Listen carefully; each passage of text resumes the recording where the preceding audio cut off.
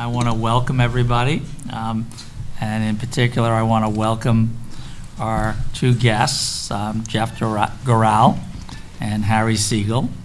Um, Jeff, besides um, having an extensive um, day job in real estate, has his hobby, I guess, running two tracks in upstate New York. And Harry's day job is at the Daily News, and um, I hope we have a spirited conversation um, around the issue of casino gambling. And I, I, as a moderator, or I'm going to try to say as little as I can, but I do want to use my privilege as a moderator to draw a clunky metaphor. And the metaphor that I'm going to draw is, as everybody knows, tonight's Halloween, and I am appropriately dressed with my orange sweater. And the theme of Halloween is trick or treat. And I think in some ways the metaphor to casino gambling is, is the hope for casino gambling really a trick, which is going to trick um, the New York taxpayer and the New York citizen um, with poor jobs, um, potentially gaming, gambling addiction, or is it really a treat, particularly for the upstate economy, which is suffering, and that it will lead um, in at least four areas to a renaissance of economic development. And in some ways, um, the social cost versus the economic gain, at least to me, is the critical issue as people try to evaluate whether we should change New York State's constitution to formally allow full-blown casinos. Um, some people will argue that we crossed that line many, many years ago when we allowed racinos to open up, and that this is really just the culmination of a trend that started 20 years ago. Um, you know, the proposal allows full-blown casinos.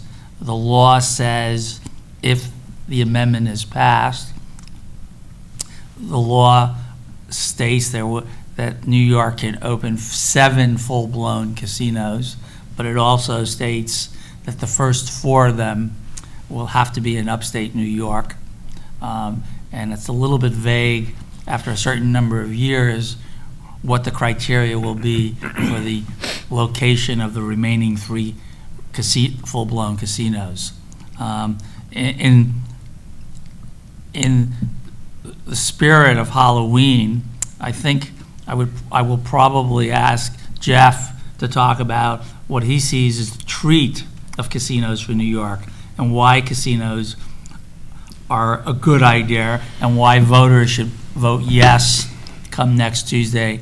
And then I will turn it over to Harry to talk about what, why he might see this as the trick on Halloween night. So, Jeff, as they say, the floor is yours. Thank you very much. Um, I kind of think you sort of uh, made part of my argument. Um, I've become an expert in the casino business uh, unintentionally. I'm, I'm really a horse racing guy. Uh, when I saw that horse racing, especially harness racing, it was going to disappear in New York State, I got involved in the lobbying effort to allow the racetracks to convert over to racinos in order to a solve save the horse racing industry and at the same time generate uh, significant money for uh, the state for education and create a lot of jobs. And my friend over here, the moderator, was actually involved in that process um, when he was at the Senate as the budget director, I guess, right? Yeah. So uh, one of my jobs was to uh, try to convince uh, both Shelley and Joe Bruno that this thing was actually going to generate a billion dollars for education. It's taken a while because of the fiasco at Aqueduct, but basically I would think we're probably right on target to, to, to generate a billion dollars for education. Uh, so whatever we predicted would, was going to happen has happened. Uh, at the same time, um, uh, when I opened Tioga and, and stupidly opened Vernon, reopened, both of these were were bankrupt racetracks. Tioga had been closed for 30 years. Uh, I never heard of it, frankly. Uh, was a quarter horse track and was open for two years back in the 70s or early 80s, and that was it. Um, and Vernon was a harness track that had gone into bankruptcy. And the appeal of Tioga, frankly, besides racing, was that my mother was from Binghamton, and I and she had passed away. But I thought she would really get a kick out of it if she knew I was doing something up in the Binghamton area because I hated to go to Binghamton when I was a kid because I used to get car sick on Route 17. You know how that was before it was a straight road. So I I, I hooked up with a, a casino company, Nevada Gold, and uh, off we went. And unfortunately, uh, the people in Albany, to their, you know, weren't too, too, I can't blame Abe for this. I don't believe he had anything to do with it, but some genius, uh, the original legislation that allowed these racinos, which was passed after 9/11, but was going to be passed anyway.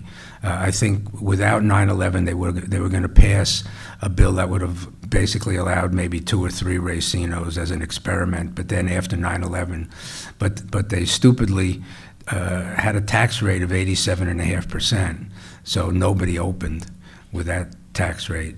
Uh, Then they changed the tax rate, uh, I think, to 71%, and a couple of people opened, and uh, Monticello was one, they were going to close after they opened, they were going out of business.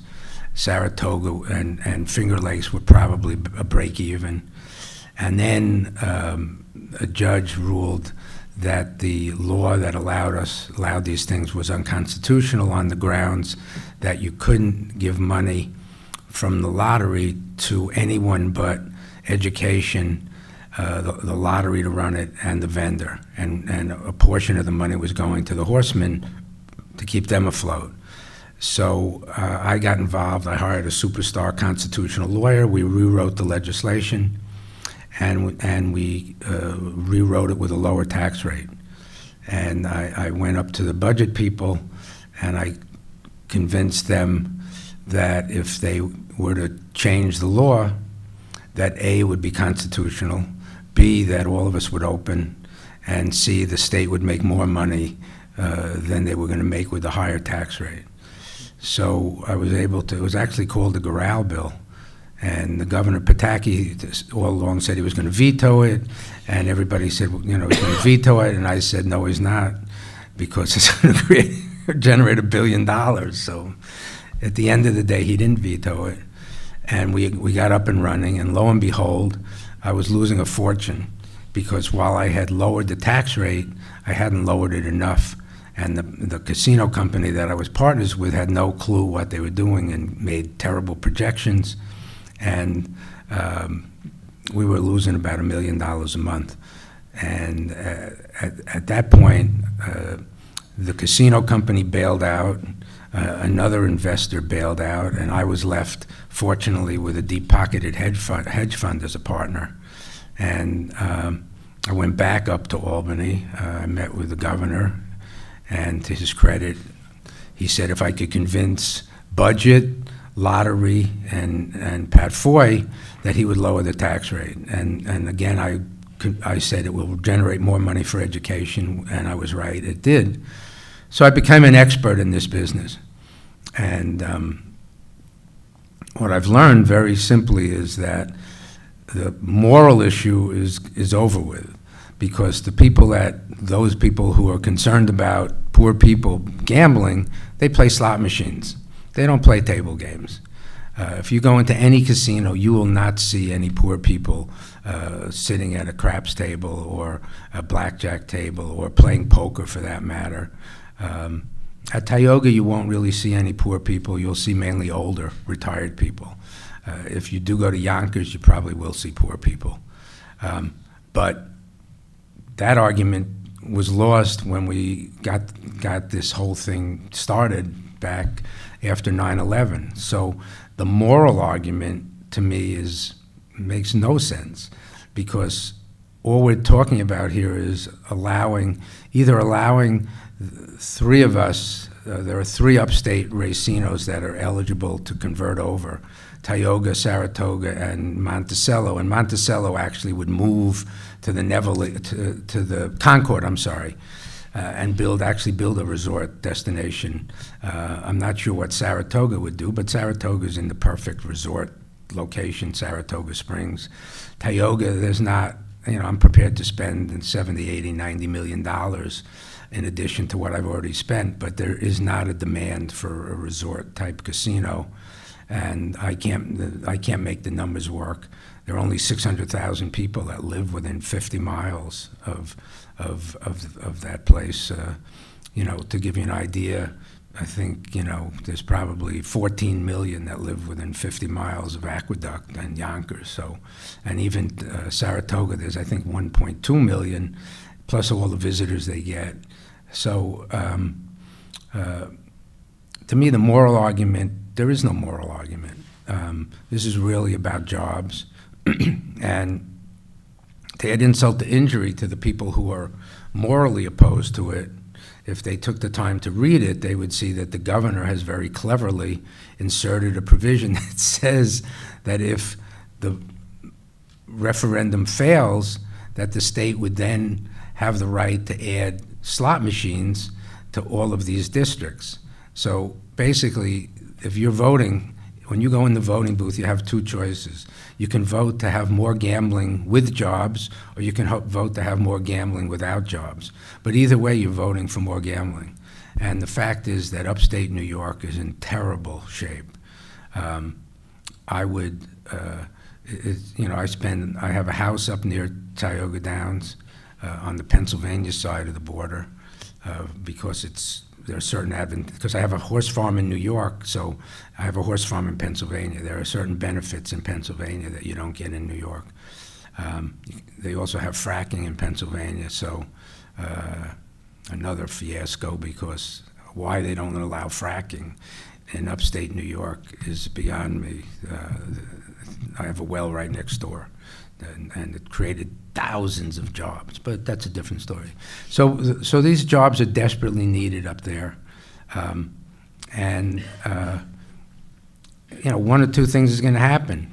Either I'll convert over to a to a casino, which means that I probably won't add any slot machines. I'll just add table games and poker, or someone else will get the license and they will add, uh, they will have table games and slot machines and poker, and I'll have less customers for my slot machines. So the number of people that are going to gamble up there is not going to change one bit. The people that, uh, right now, the biggest difference uh, is that what I find is the younger affluent people want to play table games.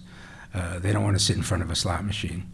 So when I do promotions that get younger people in the door, uh, which is uh, another thing that New York doesn't allow, this WWE, what is it, W, you know, that uh, crazy, uh, um, you know, where they fight.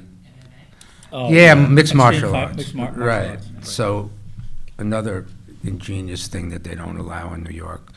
Um, So when I, so unfortunately, so we televise those, those things, they're on pay-per-view. And people, you know, all young people come to the place, because why pay fifty dollars to watch it at home when you can come to Tioga Downs for free? And there's no minimum even. I mean, if you don't order a few beers, we're really screwed. So we pack them in for that. As soon as the fights end, they all leave. Nobody stays. Before the fights, they don't go in the casino.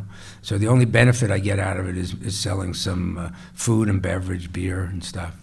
Um, so th- these customers, the people who have the money, right now are going to either Mohegan Sun in Pennsylvania, where they have a beautiful facility in Wilkes-Barre, Okay, right. and, or they're going to Turning Stone uh, near, near, uh, near Vernon Downs, which is another big mistake. Don't open a racino five miles from a casino, especially if the casino pays no taxes. So uh, I learned that the hard way. Um, So I don't, you know, to me, the, the argument, the negative argument, there is no negative argument. It's going to create jobs, I guarantee that. Uh, we estimate just for our, our little place, we'll create about 300 jobs for construction workers and another 200 permanent jobs. Uh, the Times editorial brilliantly said, well, construction jobs are temporary. Well, I can tell you that when I was, I did a press conference two weeks ago, and I was approached by the business agent for the uh, steel workers and the and the sheet metal workers, and they said to me, Jeff, whatever we can do to help, our guys are sitting home without a job. So it's fine for someone from the Times who has a job to say to the guy who has two kids to feed and doesn't have a job that it's only temporary, so why do it? I mean, that's kind of ridiculous. We're, we've got all our approvals. We're ready to go. Matter of fact, if it passes, I'm going to start construction of uh, the indoor parking garage the next day. Uh, then I would wait to see if I get a license uh, before going ahead with the, with the hotel. So I don't, I don't really, I'm very interested to see what my friend here from the Daily News has to say, because frankly, I don't get it. And, and the reality is, you can vote for more gambling with jobs, or you can vote for more gambling without. Most people would think it at least better to have jobs, but uh, we'll hear what he has to say. Yeah, Harry? Well, I think to the extent we're talking about Tioga Downs, this makes perfect sense. Um, As uh, the governor is He agrees with the Times. Not exactly, but uh, when the Times and the Post end up on the same page on an issue where they're not taking marching orders, like say a Bloomberg endorsement, there there's tend to be serious issues or concerns. So whether or not in places upstate that could use construction jobs, temporary or not, and casino jobs, however they pay, and obviously that's been a fight here as well, and they're not always the best paying jobs, and they're not always as many as promised, but however that goes, the, the concern is, as, as you know from Racinos on, all of this gets done in slightly cockamamie ways, which is why we're still talking about carving out different exemptions to a constitution that nominally still opposes gambling. And so here we've got, in fact, a, um, an, a constitutional amendment that is uh, put on with sort of funny rig language that has the first position on the ballot, all of these sensible things that the governor has done to make sure that this passes, since most people are pretty passive and unaware of the issue. And then that only talks about seven, up to seven full casinos and facilities. The four upstate, I don't think, and particularly because these would be largely where existing facilities are, and presumably with casino owners who have signed on, and there's been incredible alignment of everyone with skin in the game, um, one way or another, including construction workers, uh, casino owners, either really backing this up or being very quiet about the issue. And people have been critical in the past, uh, the Catholic Church, Donald Trump, for instance, being quieter this time around. So it's those three remaining casinos, which there's a vague promise, as Abe said, that, that this would be seven years or something. But that's not in the amendment, uh, leaving the, the funny language there aside. And it's very reasonable to assume, and you get all sorts of surprises. The racinos, for instance, were supposed to be, I mean, the nominal political argument at the time was this would be the money injection after 9 11, and there was a uh, crisis, and let's get this done. And it was a bit more expansive than people expected, and then there were lawsuits, there was a ridiculously high tax rate to start with, and they took much longer to get online for that money to start flowing than anyone expected. So, so really, my concern, and I'm speaking for myself, not for the, uh, the, the news editorial board, um, is that it seems very likely we would end up with, with two things that would worry me. And these aren't exactly moral concerns. One would be a, uh, or aren't immediately moral concerns, I think have moral elements, that, that we would end up with real gambling in Manhattan. I think uh, having Aqueduct there, uh, the incredible take it's had, seeing how what Yonkers is continuing to do and how high the per, per machine take continues to be with, uh, with a uh, casino in Queens. Uh, because the casino racino thing is eh. And they functionally have VLTs that are table games and are not actually pari-mutuel and may or may not be constitutional, but the state constitution is not a document anyone respects or takes very seriously, nor should it be. It's not, uh, it, it has the word constitution there, so it, it tends to confuse people. It seems very unlikely to me that you would have this giant, dense, uh, downstate audience where there's clearly a market for gambling uh, without building that market out. So New Yorkers more of Cuomo's brilliance is sort of lining and aligning this right are who's going to decide on Long Islanders. Uh, we've got the uh, we've got the larger elections this year. We're going to be a large percent of the state's total turnout, and what we're being told is, don't worry, this has nothing to do with you, and these guys need jobs. And, and you're absolutely right. We don't have fracking, and this other extractive industry that has, I think, has much more economic promise. So, so this is what we're left with, and like, why not? It's got a prominent position on the ballot, which matters. The print on the ballot is six point, almost unreadable. It's large and complicated. And then you turn it around, and there's this thing. Hey, do you want to pay for jobs, schools, and lower property taxes? You know, sure. Uh, in New York, we don't think as much about the property taxes, but that's very important in Long Island. So, so that's a, uh, a real concern. And the argument with each of these steps is, hey, we already have it. The camel's nose is here. Why not have more? And having a full-service casino in Manhattan, any casino in Manhattan, would, would be a, uh, a really dramatic change in the, uh, the life and the feel of the city, and one that we haven't considered. It would clearly get money from tourists. Uh, there would clearly be a market for it. But it, it seems like uh, yet another of these steps that, that, that potentially we reach. The, the, we have a shortfall in a few years. Uh, we have a, a, law, but Albany changes these laws very easily.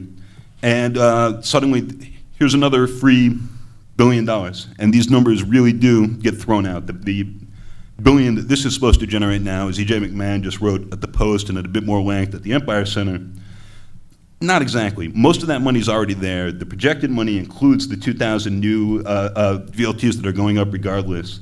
You've got these strange, sort of interesting SOPs with the way the poison pills have been set up, where, where, where basically the patronage operations in Long Island and their OTBs, which still exist, are going to end up with some of that money. So, so this gets complicated. And obviously, the way this has been put together is rigged. Not the worst or most surprising thing, it's how business gets done. But there's something undemocratic and troubling about it. You see it in the, uh, in the various polls showing most New Yorkers are, are, are evenly split or slight majority are against until you end up with this language and then they're for. You see it in the way the, the, the money's aligned and uh, the governor has had to sort of choose between, you know, hey, I don't want to talk about this, but I'm for it, and then, then putting real muscle behind it to make sure that this goes through. And once it is, nobody thinks about it again. So announced that that's, that's fine. Um, there's not much of a difference if they're table games. I'm skeptical about that. I know in Atlantic City, in Vegas, I, I mean, everywhere, because we have hundreds of thousands more slot machines than we did quite recently. Those continue to be the, the money drivers. And the, the table games are to some extent cosmetic and to try to get younger people in through the doors. They also, they just don't take up that much space. And so per square foot, when you're thinking about that, they, they have a ton of value. But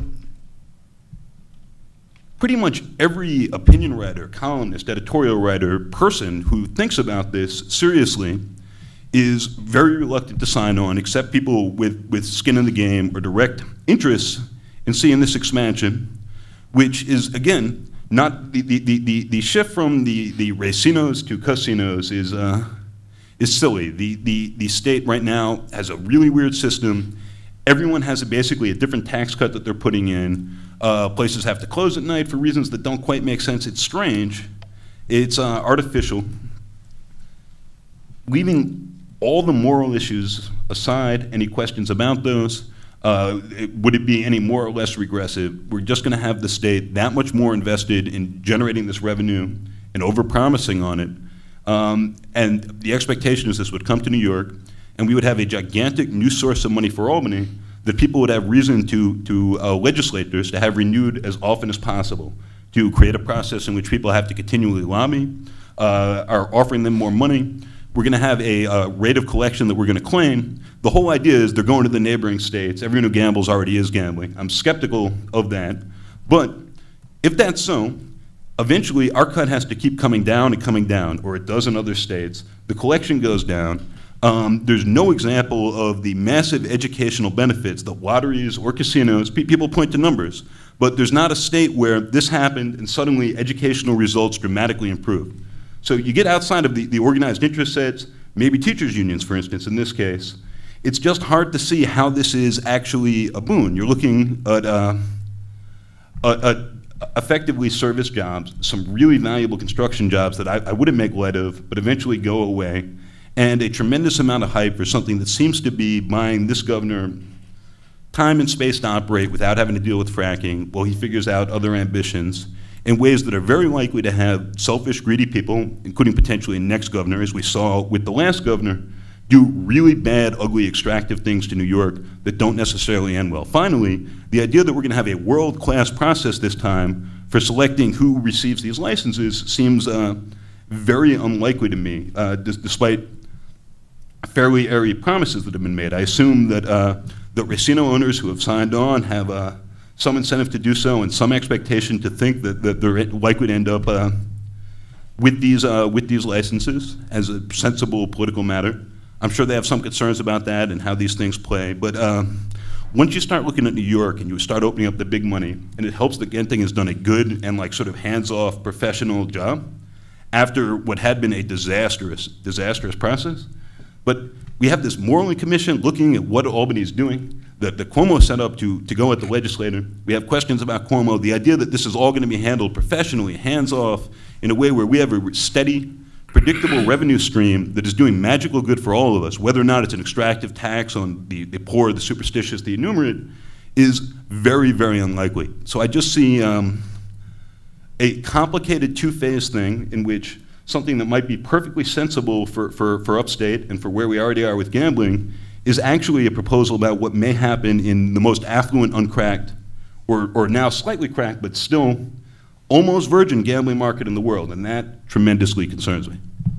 Um, I guess I'll ask a question of Jeff, I think, and then ask a question Harry. But Jeff, really, in, in many ways, you feel the moral issue, the horse has left the barn, so to speak, and the moral issue, um, you know, is a philosophical issue that we can talk about philosophically, but gambling is here, and let's not fool ourselves. I think Harry's point is that's probably true for maybe 60% of the state, but the great fear is those three players to be named later, and that those three casinos to be named later maybe sooner rather than later will happen in New York City, um, where you have an extraordinary amount of both wealth and poverty, and that particularly depending on how those casinos get set up, they will draw in a whole new class of poor people into gaming. Do you think his fear is justified? Any comments on your part? I think his fear is theoretically justified, but practically unjustified for one reason. we all live in a city, New York, where if you want to put a casino in someone's neighborhood, you won't live long enough to see that approved. We saw what happened when they wanted to put a football stadium on the west side where they were going to play 10 football games a year. At the end of the day, recognizing all of the moral issues around casino gambling, what's wrong with people having the choice actually, even if it hurts them, to do it? When you have casinos, a lot more people gamble. That's part of the model they're built around, and they're people within 50 miles in a dense urban environment west. That's the, the, the real difference. When you look at states where, where they're taxing and getting revenue from marijuana, for instance, uh, you don't actually see much of an increase in who's using marijuana or medical problems associated with it or anything else. Um, casinos there, there, are questions, obviously, people in this room have raised about, about having the state involved in an extractive, and what can be a really sort of ugly extractive industry and getting a cut of that. Leaving even that aside, what, what distinguishes them from me and what makes me worry about them here as opposed to other sin taxes right. or, or, or, things you can go at is you are actually creating new, uh, new users. And I don't know how many people in this room who, who, feel morally one way or the other about casinos have spent time with, uh, with slot machines or, or VLTs recently, but they're, they're really impressive and weird and hypnotic. And I think a lot of the people weighing on this stuff um, just haven't sat down with one of them for three hours, starting off with a couple hundred bucks, and like getting these noises and lights of reward while actually your money's going slightly down. Like they are beautifully set up to, to, to get you going. And I, I've put some money into them and not like in an experiment, I'll record what's going on in my brain way, but because I was in a casino and, and like, you know, what the hell, I'll sit down here. And, and they really wrap you in. Um, so it just strikes me that people who would not otherwise be gambling that money or putting all of it into the lotto Uh, even even the advanced lotto games that they have in the bodegas now, where, where, where the numbers are flipping on, are getting turned on by this, and it, it, it, it's doing things that are really hurtful for them, and a sort of dysfunction that, again, in a dense urban environment, has severe social costs for other people who are around them. And, and some people are going to gamble, and that's that. But uh, I think it plays out differently, and you, you feel it with like the guys who are hanging around and how they act, and how they act when, when they literally, you know, it's, it's like the first or the 16th, and they're without money uh, because they've been going through this. And I think adding significantly to that number would be a, a, a very difficult and distressing thing in a way that the, these other things, uh, John Liu proposed legalizing marijuana here functionally for, for reasons partly involving political pressure, but partly just involving practicality. Kelly moved away from, from caring about it. It's been the, the, the, state decriminalized possession in 77. Kelly stopped enforcing anything that wasn't street level transactions very early on. He said it's just a waste of time. Like if guys aren't involved in other crime and they're delivering stuff to you, that's fine.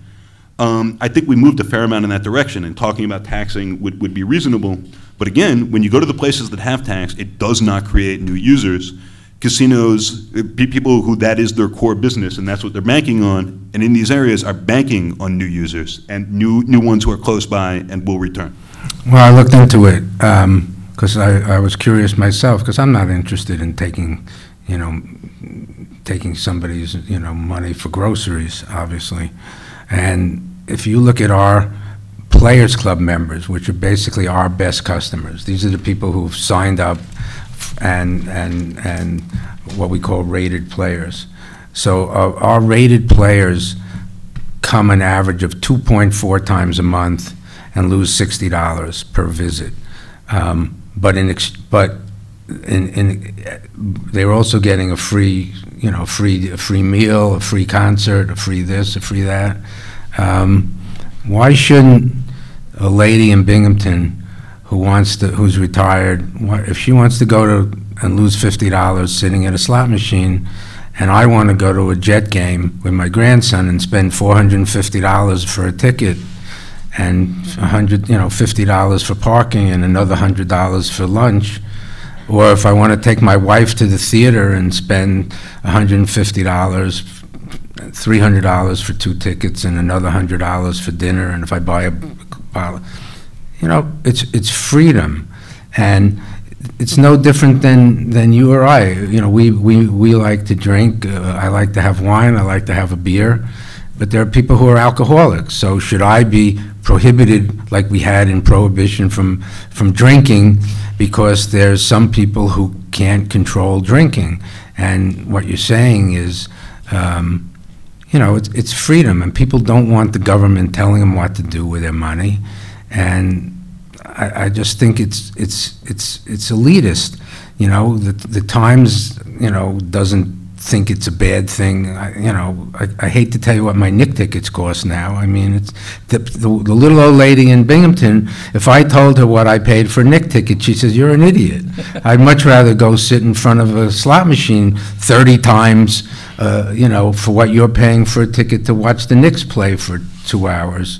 And truthfully, it's only the last few minutes you have to even watch. So, but it's fr- it's freedom, and and and you know that's what it is. I, I, I wish I wish there were no problem gamblers, and I wish there were no people who smoke cigarettes. But if you don't ban cigarettes, which we know kills you, we know that.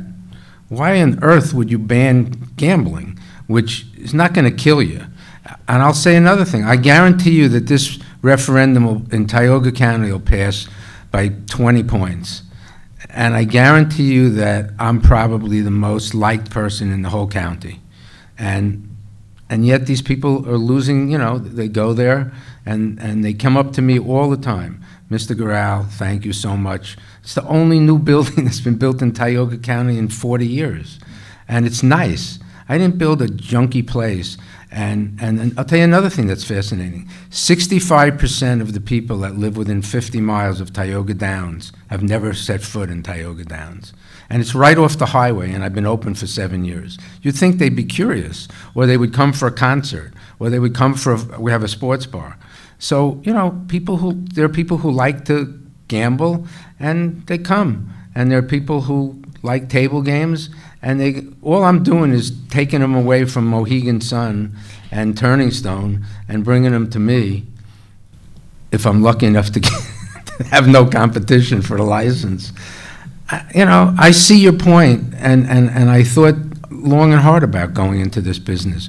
But honestly, you know, I, I can't say that I, I, I have one bit of regret when I walk around there, and I walk around there all the time. Everyone knows me, everyone knows me personally, uh, and, you know, uh, life's not perfect, you know what I mean? It's, it's still, a- it's a freedom issue, I think.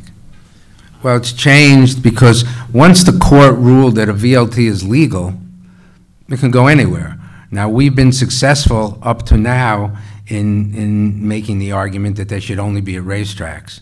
Uh, because the, the one thing that we fear, frankly, is that they'll start popping up in bars and restaurants, and then they're just, well, you know, they're just taking my customers.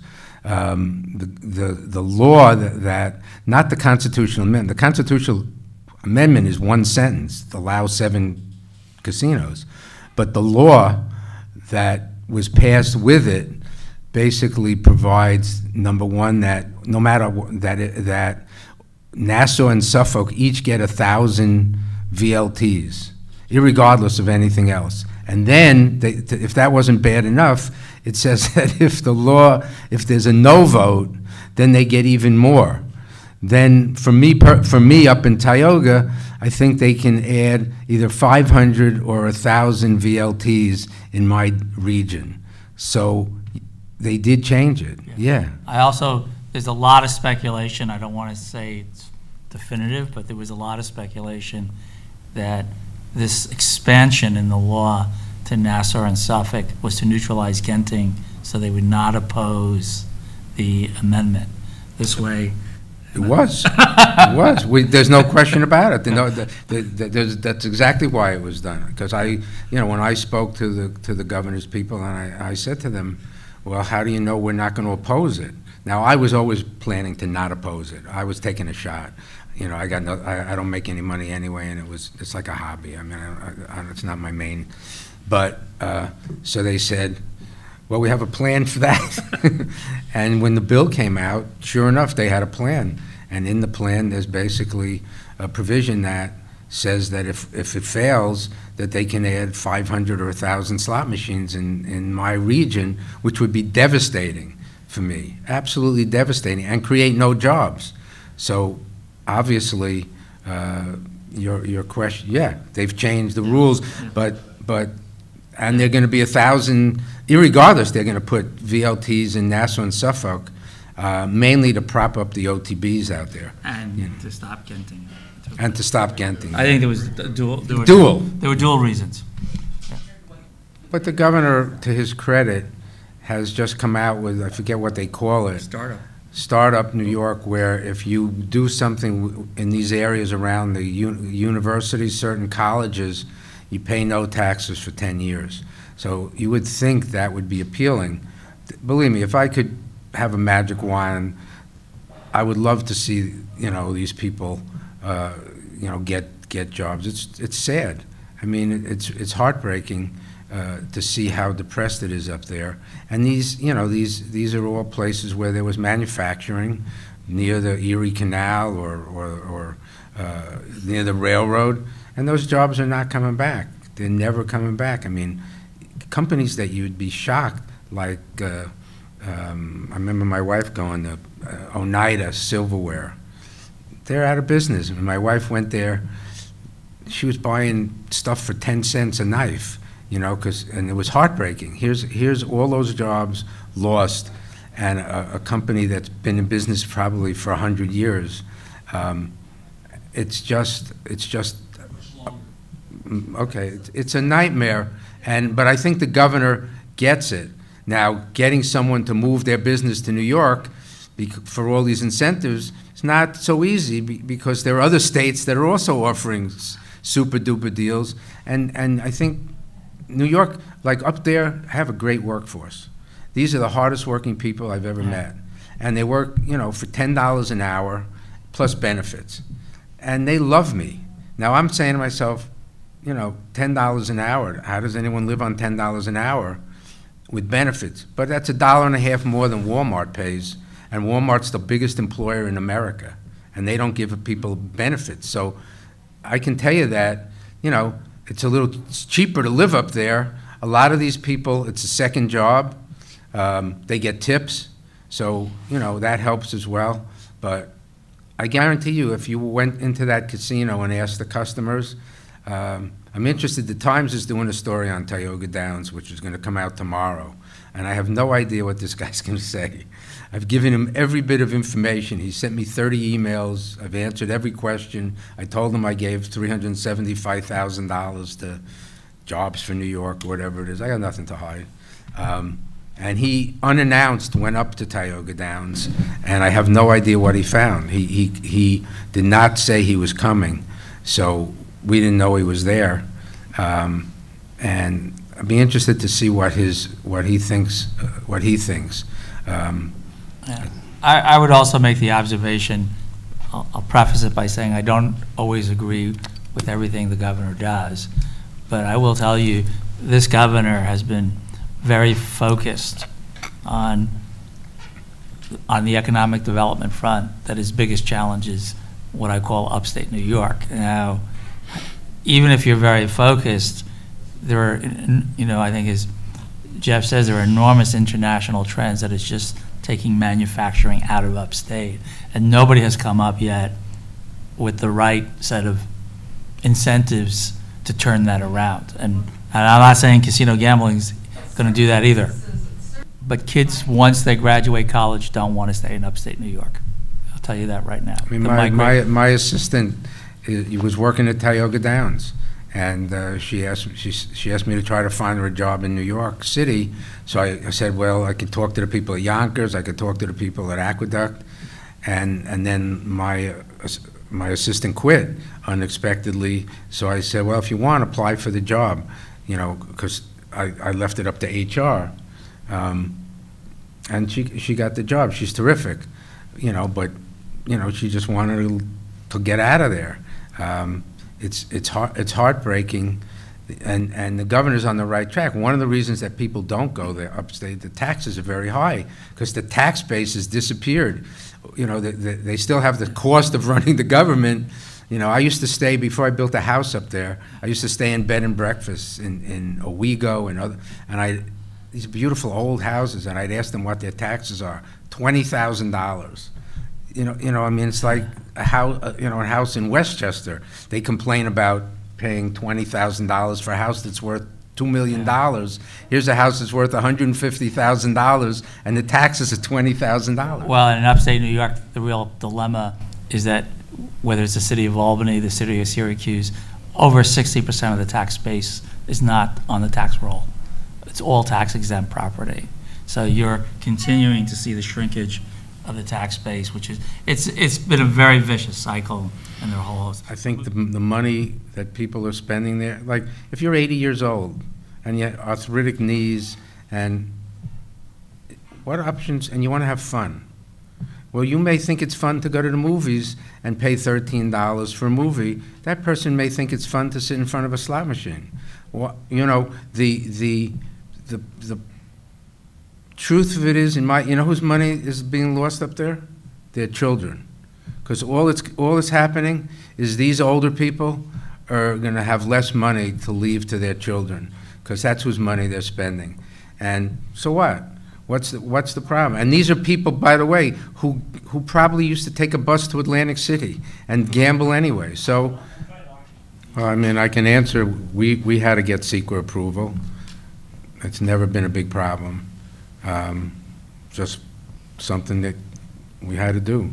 Uh, No, wasn't overly expensive. I mean, it created jobs for people who do, who do, do that work, you know? I mean, look, I'm not, I got, I invested hundred million dollars in two cities that are totally depressed. I've, six hundred people work for me, and I give forty million dollars to the state for education. I got no problem. I think, and I got all these horsemen up there, you know, with all the jobs they've created. go down the, go, think about all the people, like, go to the gas station that's outside of Tioga Downs and see what, how business is over there, and the sales tax that's generated. I'm, I'm, oh. you know, you're, you're, you're, I I can't answer. All I can, all I'm here to say is that the horse is out of the barn, and what we're dealing with is, do you want gambling with jobs, or do you want gambling without jobs? Because the governor is very cleverly, that's the choice that's on the table, and most people probably don't even realize that's the choice. I also want to just follow up on your first observation, of whether it's economic development, and try to at least give a narrative of why someone might argue it is. I think part of, and, and I'm curious to hear Harry's thoughts on it. You can make the argument that one one of the problems in upstate New York is there are no destinations anymore. You know, there's been a whole deterioration in communities, and particularly young, bright people don't want to stay there because they don't feel there's a destination. One of the few success stories in upstate New York, and, and people forget 30 years ago, it was almost as depressed as Schenectady was the city of Saratoga. And through some really good planning, the city of Saratoga became a destination. You know, you, the revitalization of the track, the revitalization of SPAC, the Saratoga Performing Arts Center, a lot of hot restaurants and bars coming in. I think the governor's vision, and I don't know if it's going to pan out, that's why, is he's, and which is, I, my sense is Jeff's not quite in the same place. He wants to use these casinos to try to become like destinations. Major, massive investments, both in terms of restaurants and glitzy shows, et Yeah. cetera, to try to attract it. I mean, I mean, Turning Stone is that. Turning Stone is, Is Turning Dave's- Stone is Dave's- becoming a Is destination. it absolutely a destination? Yeah. But they pay no taxes. Yeah. So if they had to pay, ta- now the governor, to his credit, has done an amazing job. He's gotten these, all these Indian tribes to pay taxes. That's a lot of money. I mean, the Oneidas haven't paid a penny of taxes to anybody, including real estate, sales tax, you That name that was his father. That was his father, you're exactly right. His father made this idiotic deal, and, and the state taxpayers have suffered with it. And somehow they talked the Oneidas, they frightened them into, into agreeing to this, and the Senecas also who had stopped paying. So the I guy's got to get credit for I that. want to turn it. The to- to governor keeps, uh, keeps, keeps talking about destination resorts. Yes. A- And, there is this question of, uh, of making places in upstate destinations again. But, I mean, there's a couple things. Um, uh, Southern tier and large swaths of the state, m- these are not in any way, there's not the population density, there's not anything else around that anybody thinks that that's fully credible, one. Two, if you do manage to build destination resorts in, in, in less populated, farther off parts of, of New York State somehow, um, they don't necessarily make the area destinations. I, I mean, look at Atlantic City's actually pretty brief, fairly disastrous history with, with, with gambling. And you know, you walk two blocks off the boardwalk, and you're on Atlantic Avenue going north. You walk another block north, another block north. You, you are in a. And I'm not being a moralist about this. It, and it was different. It had all the gambling. Can in the I entire just say something? Wait, wait, wait, well, give me just one sec. So, but this was an attempt to say we're going to have these casinos and there's going to be a, a world and a thing around it. And this is an exaggerated form, and it was all the gambling in the Northeast at the time. And there's not a supermarket there. There's not a movie theater outside of the casinos. And inside, even now, and, and you know, some of them are having their financial troubles, they're really nice places. They- They're, they're, they're comfortable, there's nice amenities, but you do not leave that. Maybe you go to the boardwalk, but you do not go in at all. Uh, you don't, people are there, don't go anywhere else in South Jersey. It, it, it's its own very distinct thing. And uh, that is, I think, the best you can hope for from having, uh, from having, you know, areas that, that are built around destination resorts that are casinos. And, and obviously, if anyone just wanted to have a destination resort that wasn't inside in the way casinos do, where, where you're not quite in the normal space-time continuum, and it was like four separate buildings, and you'd walk around and see a lot of the natural environment and be exposed to the area, maybe that would be something else. But no one is talking about destination resorts separate from casinos. So, so, so the attempt to sort of slip that like it's on the side, just, I have a really hard time buying that. But I think he but want, but I- I'm going to allow, I, I think you'll see destination resorts in the Catskills. I think, I, I- I think, I, I wish I could build a destination resort. There- I wish there were a million and a half people instead of 600,000, but, but there aren't. But in in answer to Atlantic City, Atlantic City, the reason that Atlantic City failed was the tax rate was 8%. Uh, Getting a casino license in Atlantic City was a license to print money. That was, that's what it was. Yeah. And these greedy guys didn't invest any of that money any place but into their pockets. And now they're screwed because they have, uh, uh, just what you said, a place that no one wants to go to, whereas in Las Vegas, people go to Las Vegas because seven out of eight people who go to Las Vegas don't even gamble. They go for all the other things. Atlantic City tried to do that with Revel, which went bankrupt in a uh, hurry. Revel, Borgata. I, I mean, like, they, they made a few attempts and Now, they, keep they haven't in worked. mind that, that now government, and I helped write the laws, the tax rate is fifty percent. So the reason that I'm paying forty million dollars, little rinky-dink Tioga, is, is, is because the tax rate's high. So it's doing something good for, for the, for the citizens of the state. Whereas a casino license in New Jersey, now, you want to write something that's a joke? Do you know that, that they passed a law, that Christie signed a law that makes it legal for you to play slot machines from your bedroom on a mm-hmm. credit card? Yep. Now, he vetoed that exact same law last year mm-hmm. and said it was unconstitutional. But when Atlantic City started going down the tubes and he saw, what am I going to do? Because he sees big bucks there from these guys when he runs for president. All of a sudden, what was unconstitutional in 2012 be, became constitutional. What could be worse? What politician could legitimately justify saying, I think it's okay for people living in my state to play slot machines with a credit card from their bedroom? I can't think of a worse piece of garbage bill, and nobody ever criticizes the guy. No, Wha- they got no, got no publicity, Why, why is it so much worse if it's in the bedroom? It's like if you have this With set a credit card? For You don't think that's worse? I, I, I do think it's worse, but I, I, I mean, you got to drive to Tioga I- I- Downs. by, by, by a question of degree. The sides have flipped here. gotta He's dri- anti. You gotta drive to there.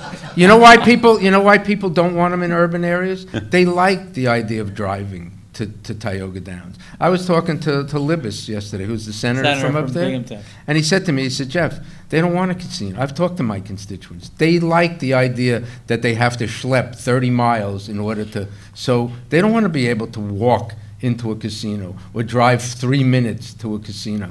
So, so he was saying, he was trying to make me feel better. He said, I don't think there'll be one in Binghamton because I don't think the people want it.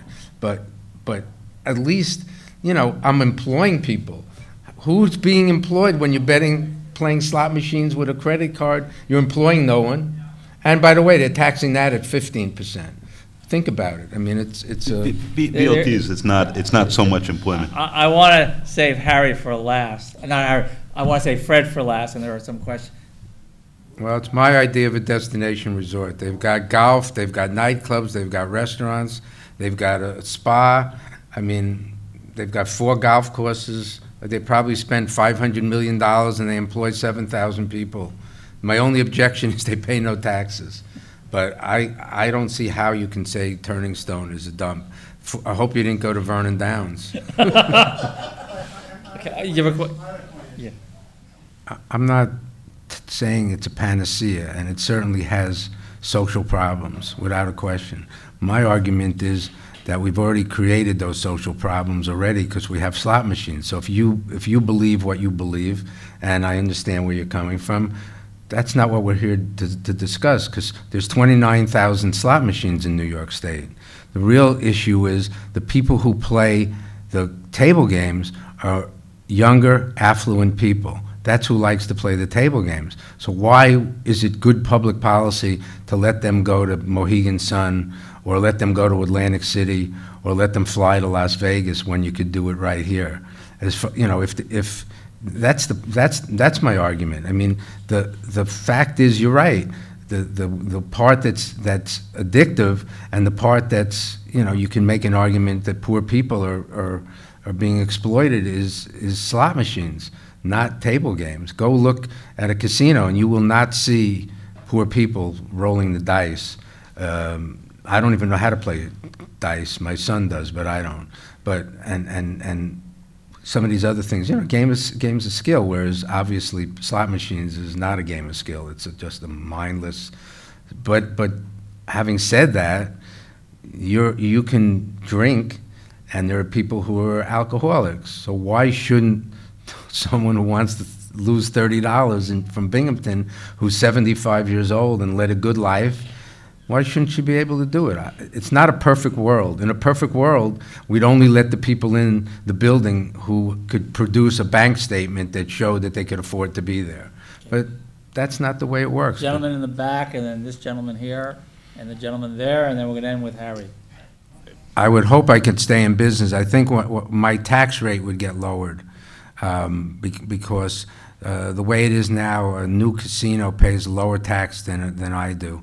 But they've protected the horse industry. They've thought of everything. So, so what they did was they put a provision in the law. So let's, for argument's sake, say, right now I do about sixty million dollars a year, and I give uh, ten percent of that to the horsemen, so that's six million dollars. So if a new casino opened in Binghamton and I went down to thirty million, so now I would be giving three million to the horsemen.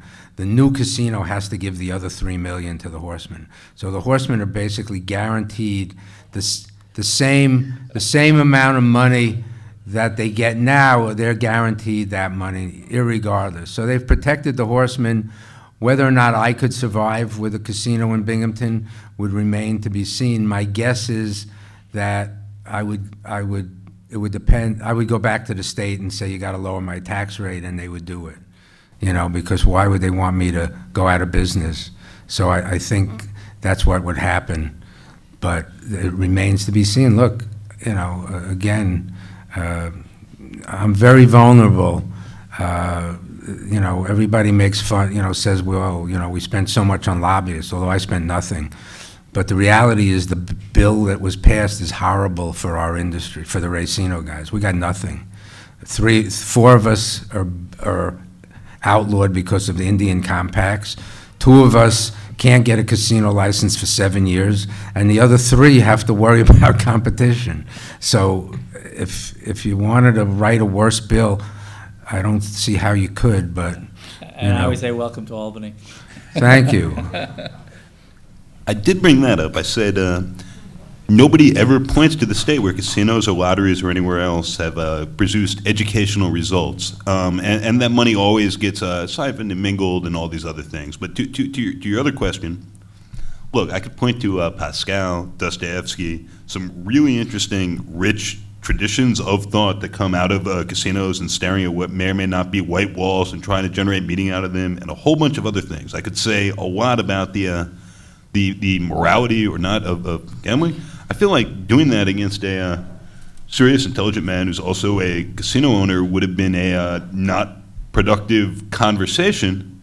Um, a- and, you know, at a certain point, there, there are there are things that are even bigger than this forum and this room and this this audience can necessarily hold. And uh, since there's going to be some gambling in New York, uh, and this is this is some people are going to gamble. You have questions about what happens when the state gets involved.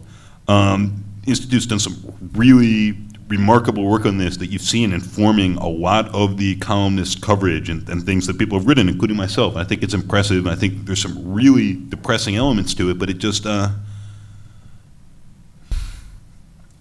I'm not sure what we'd, we would have accomplished by engaging in that. Perhaps, perhaps you know, you, you disagree. Um, I, I would say that when you're talking about why can't we have this freedom, of course, we're not talking about a prohibition. We're talking about expanding what the state is already allowing, uh, whi- whi- which is a notable distinction. And with, the alcohol comparison, that and then I'll be done. Uh, with the alcohol comparison, that, that it is to some extent a question of how many people are how badly damaged with everything, with, with what we uh, with what we ban, with what had been banned that we allow. How many people are how badly damaged, and at how large a cost um, more broadly.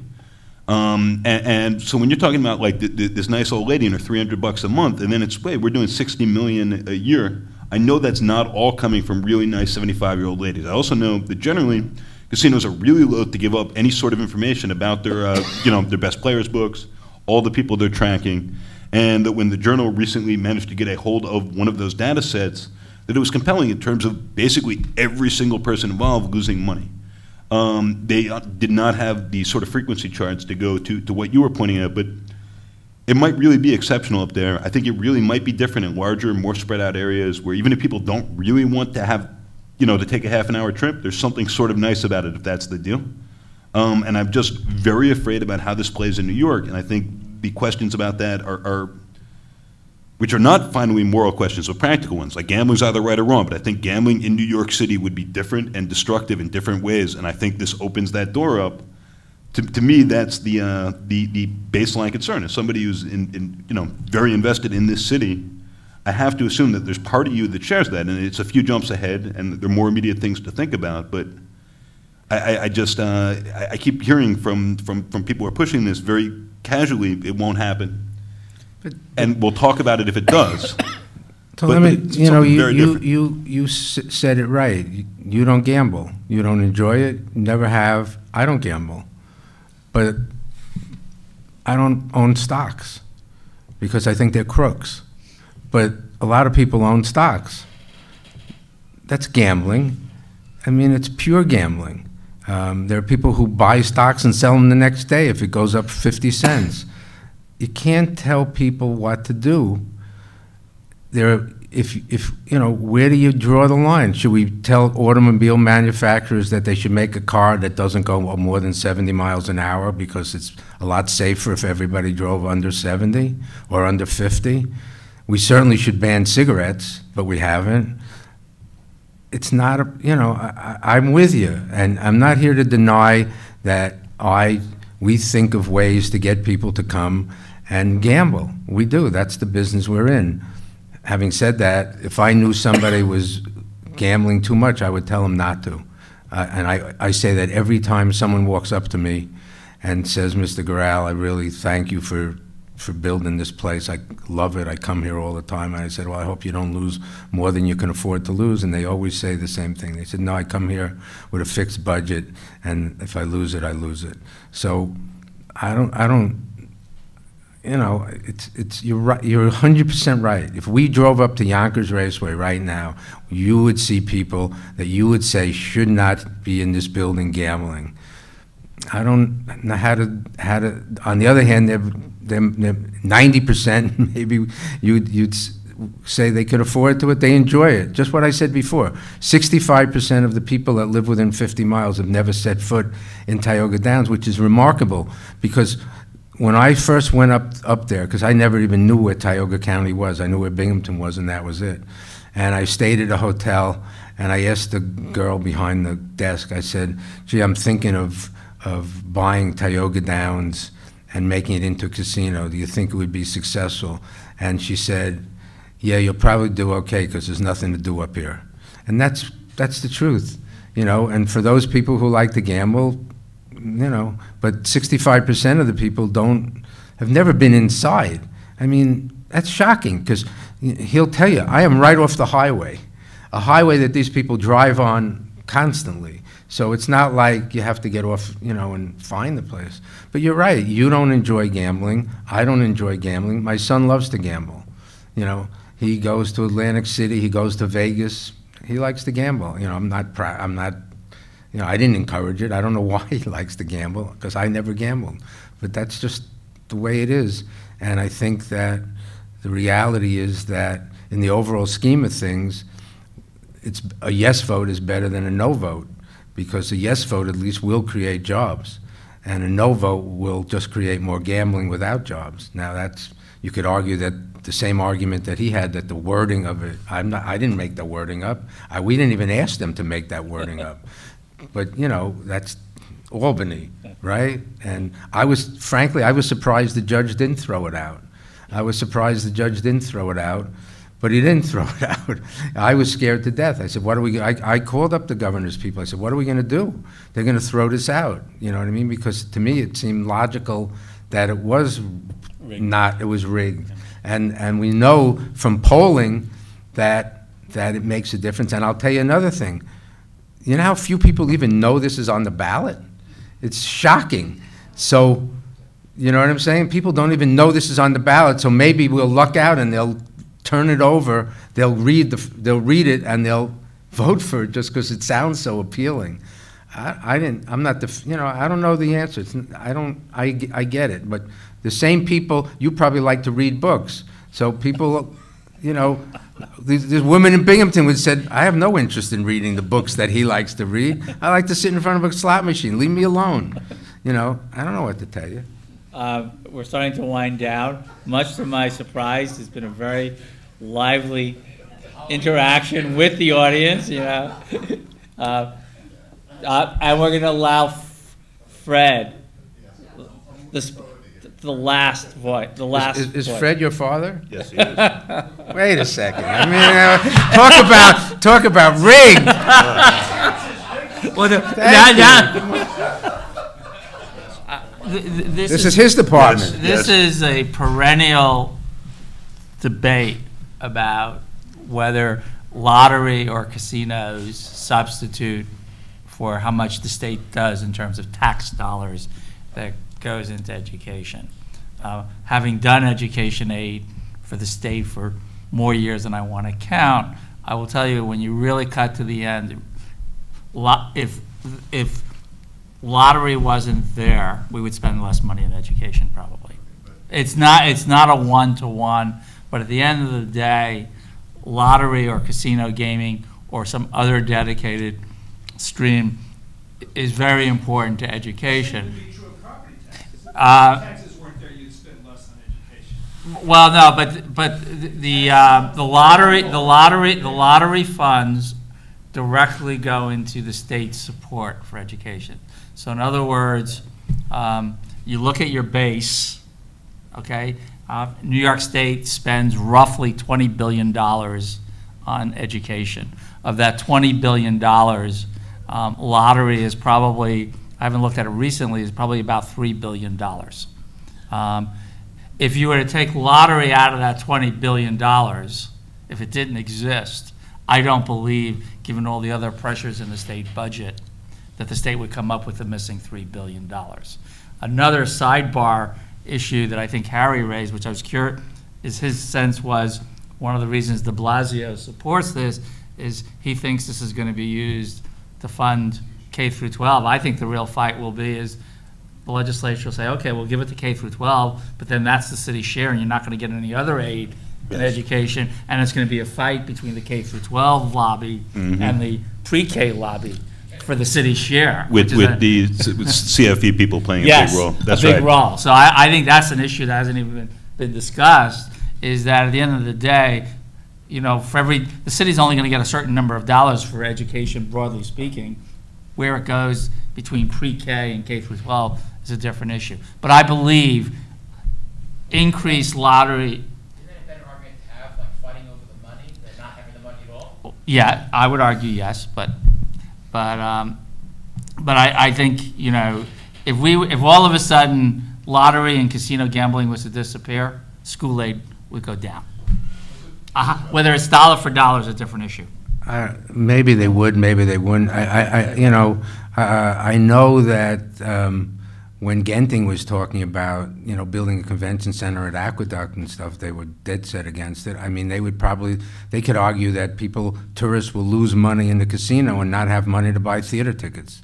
Um, I'll argue on that because I was treasurer of SPAC, which was the premier, and is opposed to initially, most of the theater owners in upstate New York were, had serious reservations and were going to oppose the casino gambling. And I think last week or two weeks ago, an agreement was reached with them that they have veto power over on these new casinos. Ter- A terrible idea, by the way. I've been doing, and I sent, I've been doing, I've been doing concerts at Tioga Downs for seven years. Right. nobody has ever, ever said one word to me uh, from all the competitors that, that do concerts. No one has ever said anything to me whatsoever. There's plenty of musical acts to go around. SPAC, I've been to SPAC 20 times. It's gorgeous. Nobody's competing with SPAC. They get major acts. We- You know, we'll never get major acts. I got Bruce Springsteen actually at, at Vernon Downs, and we lost money doing it. But I had a great time. He sang for three and a half hours. But, you know, it's, anyway. Um, Much to my surprise, we're already past nine o'clock, and I, I don't want to get us into a position of having to pay anybody overtime. So, um, uh, one of the themes is that many things are rigged in this whole process, and I will say, um, I'm delighted that Fred put together this panel. And that's boosted the casino take there as well, that, that, uh, that's brought new money in for their casinos incidentally. So, so you could argue this is a very virtuous or unvirtuous circle. No, I think it's very much on topic because it ties into the question he asked, that in many ways, the job impact and the economic impact of this is relative, from his perspective, is relatively small. But the political impact is enormous because it allows the governor to change the debate away from fracking. And- But you know what I find the most interesting? Yeah. Is comparing him to Christie. Christie could care less what anyone would think about fracking. If he thought it was a good idea, there'd be fracking. He, you could criticize him, you know, and Andrew's exactly the opposite. He does not want to do anything that he thinks he can be criticized for, including giving Jeff Gural a casino license. I mean, in all honesty. You know, so. No question about it, but it's just, I'm just making an observation because they both are going to want to be president. You have two, you know, here's a guy who came up with a screwball idea to let people gamble from their bedroom on a credit card, and he didn't care what, you could call, you could say anything you want to Christie about that stupid, I, I mean, here's a guy who signed a bill that he vetoed a year before on the grounds it was unconstitutional. You would think somebody might say, how did this become constitutional? Like, you know? He don't care. Uh, On that note, I, I, I want to thank the very spirited debate and insights by both Jeff and Harry, and I want to, um, want to say, we owe them a round of applause.